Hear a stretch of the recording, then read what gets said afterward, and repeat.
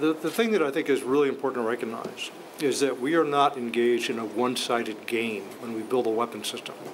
We have potential adversaries who are working very hard to try to find ways to defeat whatever it is that we are creating.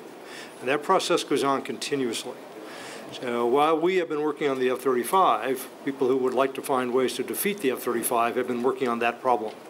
And we can't be complacent about that. Uh, we did live in a world for a matter of maybe a decade or two, following the end of the Cold War, where our technological superiority was so great and so assured that we could essentially not worry too much about the competition. Those days are over.